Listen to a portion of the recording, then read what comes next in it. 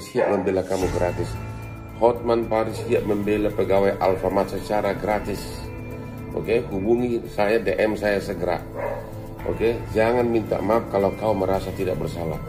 Jangan minta maaf kalau kau tidak merasa bersalah. Lawan.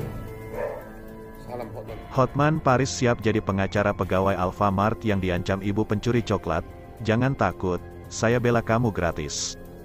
Heboh pegawai Alfamart versus ibu pencuri coklat sampai juga ke telinga pengacara kondang Hotman Paris. Hotman belak-belakan siap membela pegawai minimarket tersebut.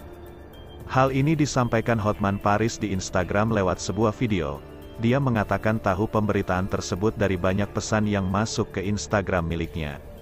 Hotman baca semua DM-DM yang datang ke Hotman, mengadu tentang pegawai Alfamart, kata Hotman dikutip Senin, tanggal 15 Agustus tahun 2022. Hotman Paris lantas menyatakan kesediaannya untuk jadi pengacara pegawai Alfamart tersebut. Menariknya, tak ada biaya yang dibebankan alias gratis. Halo pegawai Alfamart kamu hubungi saya, jangan takut, saya siap bela kamu gratis, ujar Hotman Paris. Hotman Paris juga berpesan pada pegawai minimarket tersebut agar jangan pernah minta maaf jika merasa tak bersalah. Lawan, salam Hotman Paris dari Bali. Alfamart lawan, ujar Hotman mengakhiri. Warganet awalnya dibuat heboh oleh rekaman video pegawai Alfamart yang memergoki ibu pengendara Mercy mencuri coklat di tempatnya bekerja. Setelah ketahuan, si ibu bersedia membayar coklat yang telah dia curi. Tak lama setelah itu, beredar video pegawai Alfamart minta maaf kepada ibu pencuri coklat tersebut.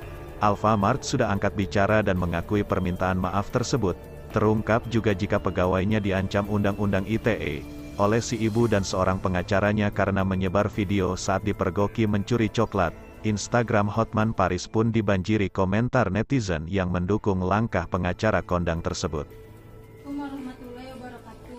Saya karyawan Alfamart ingin mengklarifikasi video yang tersebar di media sosial.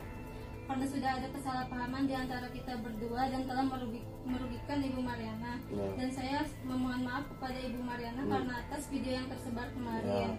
Dan alhamdulillah hari ini ya. sudah diselesaikan secara kekeluargaan. Ya.